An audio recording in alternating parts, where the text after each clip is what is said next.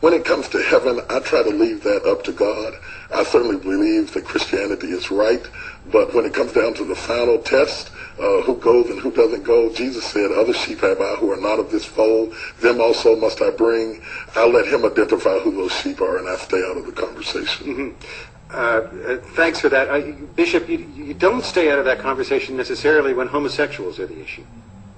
Uh, what makes you say that? Well, uh, I've read that you consider homosexuality a sin, so if you're practicing uh, homosexual, you're not going to heaven.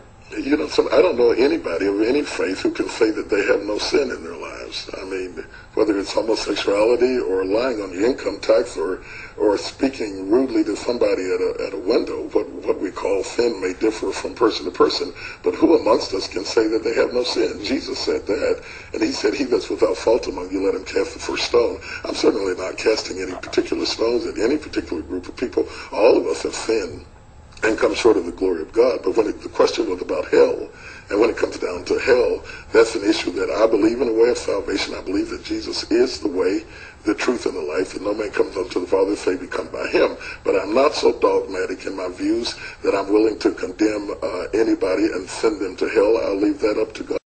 Sure, he's going to leave that up to God. This first article was dated back in May when Obama first came out saying he supported same-sex marriages. This is an article asking whether or not T.D. Jakes will come out with a public statement against same-sex marriages. Um, as far as I know, no such statement uh, has he come out with condemning same-sex marriages and definitely not coming out against Barack Hussein Obama. Not to my knowledge. I haven't seen anything like that at all. This is a short article about T.D. Jakes' son being arrested. This happened several years ago. He was caught up in a undercover homosexual sex sting. He was arrested for exposing himself to an undercover agent. So his son is a homosexual. This next article is strange. Uh, T.D. Jakes has several so-called spiritual sons who he, I guess, take under his wing and is a spiritual advisor or mentor to these people. But this guy is Michael Irvin.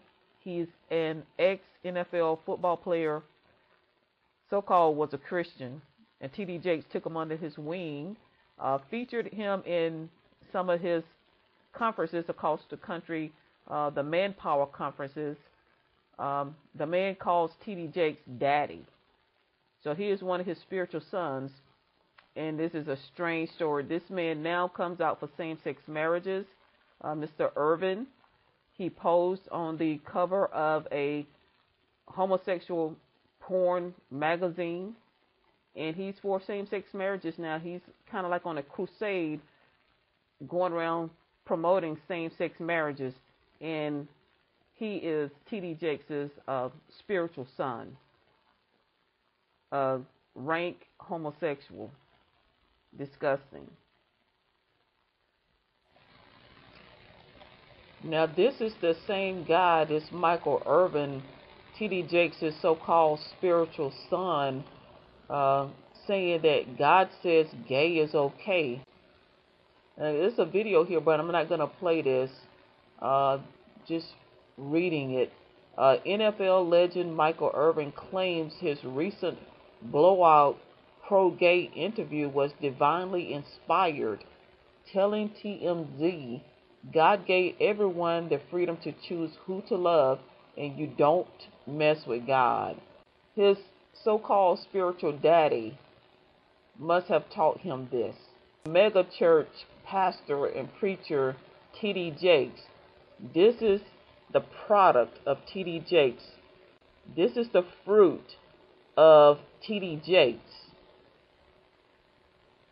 This is his spiritual son saying blasphemous thing against God. There you go.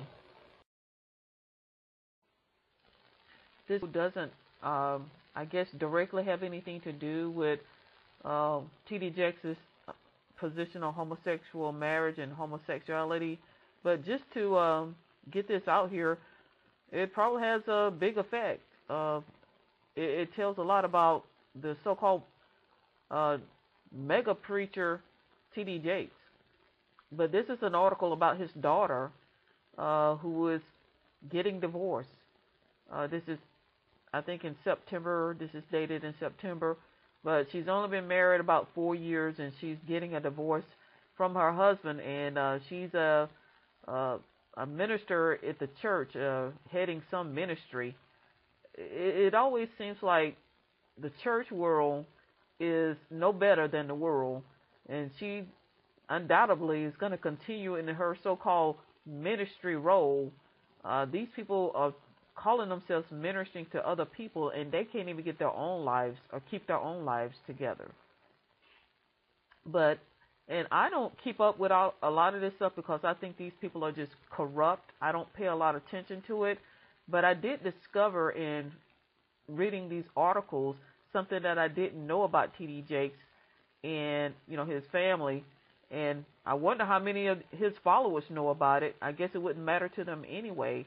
But she was pregnant at 14 years old, and, and this is the the daughter of the new Billy Graham. Truly amazing how the it's no better in the church